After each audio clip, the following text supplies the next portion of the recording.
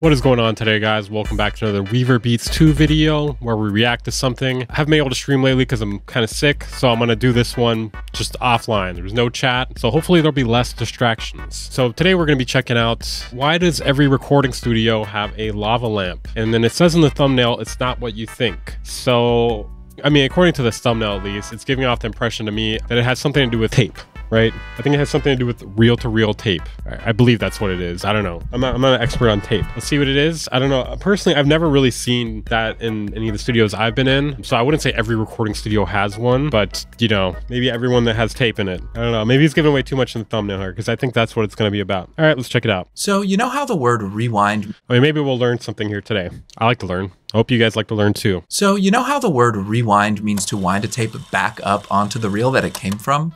Mm. Like literally, you would record on a reel of tape like this. You'd listen to music on a cassette and movies were on VHS tapes like this. God, tapes were the worst, man. Like I get like the the analog quality is kind of cool, but the whole rewinding thing is just I fucking hated that. I've always hated that, and I'm glad to never go back. I'm cool with analog records, vinyl records, because you get that sound quality and you can still skip around on the record relatively easily. But tape always sucked, in my opinion. I don't have that kind of time. I don't think anyone should have that kind of time in the modern age.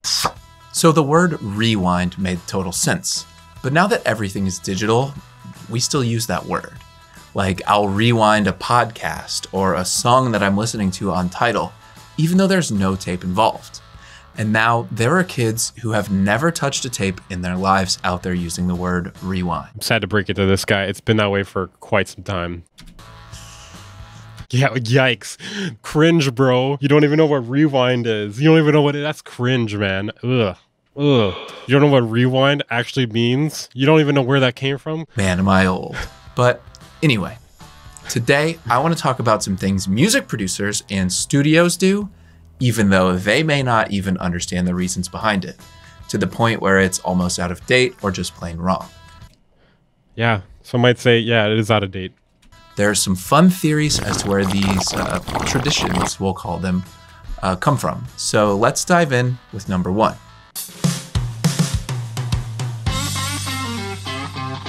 Damn, this video blew up for this too. 3.4k subs, 130k views, dude. Jesus, man. Give me I need that juice, man. So when condenser mics first came out, tube mics were all rage.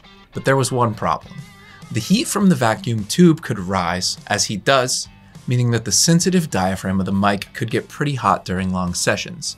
So engineers smarter than me had the bright idea to just flip the thing upside down. So mm. nowadays, most tube mics can handle being operated right side up, and some, like this Sony mic, have heat. Bro, that one just looks like a massage gun. It is a massage gun. Stop lying to us right now. That's a massage gun, pal. Sinks and radiators built in to disperse the heat before it even becomes a problem. Now, there's a case to be made that it's easier to hang a mic upside down sometimes for certain applications, but there's no technical reason to turn the mic over. Yet in studios around the world, you'll still see engineers miking singers, acoustic guitars, and tons of other instruments with the mic upside down. Heck, I even have a bunch of mics that look like they're vintage, and I'll mount them upside down just because it looks right for that type of mic. For the lulls, you know? Even though they don't have tubes at all. It's just something we do sometimes. Thankfully, there's nothing about using a mic upside down that makes it sound worse, but there's one more piece of studio gear that countless people mount in funny directions that actually does have an effect on their sound. Okay. But we'll get to that later, because I want to talk about something else that relates to tubes heating up. And this is something we've all seen before. See if you can spot it in this picture. The lava lamp. You gave it away in the title, pal. Come on. Come on. It doesn't work so well when you... or this picture. Well, other than the lava lamp, I mean, I don't know. That's kind of eh, rock and roll. Also, this dude's got the cheap DJ mixer in front of the analog board. What? Weird. Like it's kind of just blocking your access to it. Or this one. Okay, we got it. Yes, yes. Yep, it's this absolute studio classic right here. Wait, maybe they have lava lamps in studios because they're fucking hippies. Maybe it's just they're hippies. Here. The lava lamp. I love lamp. I love lamp too. So there are a few different theories as to why everyone has lava lamps in their studios. So if anyone has any insight on why we do this, let me know. Now my favorite- Oh my god. Wait, what? I thought you knew, man. Favorite theory that I found when researching this video is that the lava takes about the same amount of time to warm up as a tube does in a tube amp, a preamp, or a mic. Oh, okay. That makes sense. Now, I couldn't find a definitive source on this, but it's a cool enough theory that maybe I'll just choose to believe it. I think they're just hippies, man. I just think they're hippies. Hippies love lava lamp.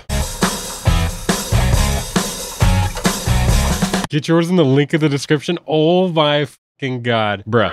This is a bro moment right here. This is just a this is just a gate to this affiliate, this Amazon affiliate link. Hey, you didn't disclose this, pal.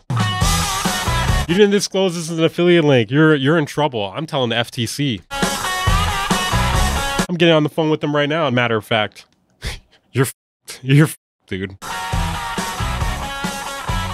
Now, another reason I read is that watching the lava go up and down while sitting around waiting for tapes to rewind Makes me feel high. for the singers to catch their breath between takes is a lot more entertaining than sitting and doing nothing, but it's not perceived as rude like reading a book or I really feel like he's reading a teleprompter. Like I'm not. He's not looking directly at me. Maybe he's looking at the the mirror on the camera. I don't know. stimulation to keep you engaged while still being able to listen critically. So let's put that theory to the test. If at any point during this video you start to get bored, just watch the pretty colors go up and down. Maybe that's why this video blew up, dude. What? What? I just got. Oh, dude. And then Wavy Webster has lava lamps in the backgrounds of his videos. Guys, guys, let me cook. Let me cook really quickly. Okay, guys, I have found it the metric for algorithmic success. So if at any time during this video you feel like you're getting bored, just look at this behind me. All right, uh, it'll get it'll help you get to the end because I know I'm so fucking boring when I talk. All right. Okay, guys, I have the secret to algorithmic success here. Let's get back to the video. This is gonna be a banger. And now, when I'm waiting on mix downs or for Melodyne transfers, I I just dropped some LSD. try just watching this instead of whipping out my I thought he was going. I thought he was going a different direction with that. instead of whipping out my phone. You know, and while I'm waiting for Melodyne transfers or you know a mix down to render, instead of whipping out my, I'll just look at the lava lamp. Sorry, buddy. Warm up while I talk about the next tradition.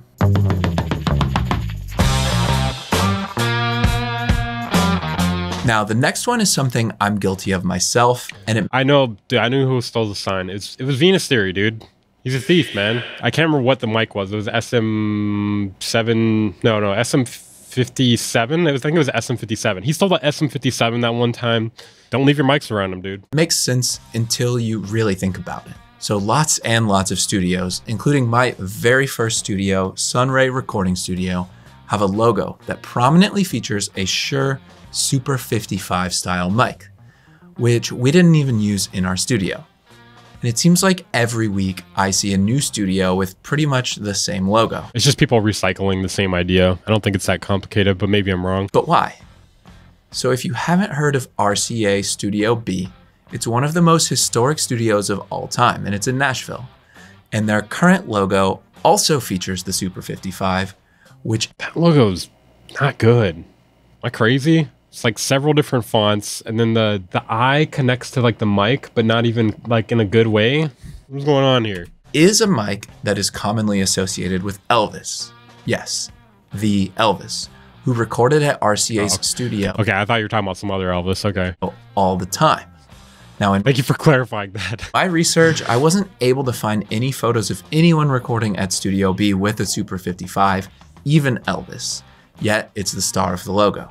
Now, my best guess is that they wanted to draw upon the association with Elvis with a nod to his famous mic, even though he used it almost exclusively. Man, this is like you're thinking way too deep about this. I think it's just like it was a common mic back then. It was used very often, and people were just like, "Well, you know, people, that's a mic. That's a mic." You know, at his concerts. So this mic isn't really known as a studio mic at all, but something about its look seems to signify this is a recording studio, especially when you slap it on a logo or on a sign. So the same way that a chief statue signifies a tobacco shop okay. I was thinking it was signifying cultural appropriation. or a red My brain is just interneted at this point. I don't know. pepper tells you that they're. Are you guys tuned into these lava lamps, by the way? Mm. going to be tacos inside a building. A Super 55 style mic has become the insignia for recording studios, even though they often don't Yo, comment down below if you think I should keep the lava lamp background just going. Should I just keep it going for the next few of these or forever? Let me know. I have one inside. If you look for inspiration for your own studio logo, The Super 55 is plastered all over design template sites, so it only makes sense that producers, not being expert graphic designers, would gravitate toward this style of logo.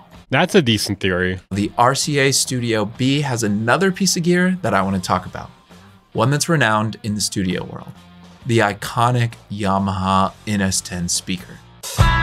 Hmm. Yeah, I'm looking at a couple of those right now, actually. Oh no, dude, no! I hate this. I hate this. I hate when people put them sideways, especially when they put them inward. When you put the tweeters inward, I don't get it. I don't get it.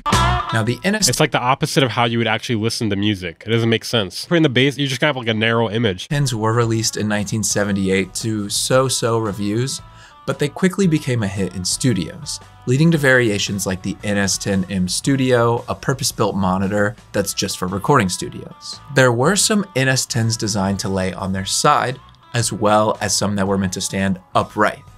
It's pretty easy to know which is which based on the logo's orientation, but I think the sideways speakers are more iconic, meaning the up and down ones, they look a little bit off. Even I don't think so. Today, though, you'll see the effects of this in studios around the world, where owners of the modern Yamaha hmm. HS series speakers will commonly put them on their side Yeah, I like how just putting this guy on blast here. Look at this. Look at this doofus right here with the modern ones. Who is an idiot? You can tell he's stupid because he's got a headband. will commonly put them on their sides even though they're explicitly designed to stand vertically. I've seen countless producers set up their HS speakers on the sides, and the What? comments are always sure to let them know that they've got them sideways. What? Hey, I don't know if you know this, but you have your speakers sideways, idiot. You probably couldn't tell because you're so fucking stupid. You have your speakers sideways. Just thought I'd let you know because you're fucking dumb. By the way, if you actually stuck around to watch the thing melt, I'm sorry. It's it's going so slow. I didn't realize it would take this long. Didn't deliver, dude. What the heck? There's also a somewhat common misconception that NS10 speakers are 100% flat when it comes to frequencies. Who the f- thinks that, dude? You have to be just so new to music production if you think that. Like, no monitor or headphone is completely flat. Like, maybe like flat ish, which is even still like a. That's hyperbole for sure because, like I said, nothing is flat. But that's not entirely true.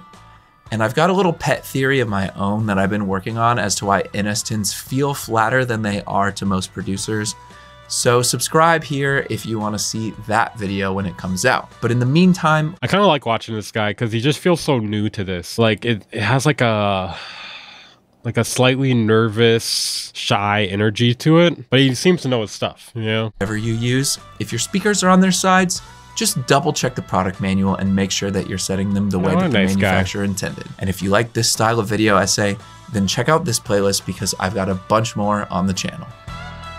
Well, you only got seven more, but that was pretty cool stuff, man. Adam Sliger, check him out if you haven't. I'll link it down in the description. Pretty cool information here. I mean, I was interested enough to check it out because I've never really heard of the Lava Lamp and recording studio thing, but it kind of does make sense because I do feel like I have seen a few from time to time, but it's not something that really registered in my mind because I haven't seen I haven't seen it in the studios that I've actually like interned or worked in at any point. But that's only there's only a handful, you know, not even a handful, like two. So yeah, pretty cool stuff. Seems pretty new here. How long has he been here? How long has he been on the YouTube? Like 58 videos, uh, like a year or two. If you're new here, make sure to follow, subscribe. If you want to support Chunks, join my Patreon, become a channel for as low as $5 a month, get access to exclusive content, kind of like this, but extra stuff that doesn't get recorded or streamed anywhere, etc. See you guys next time.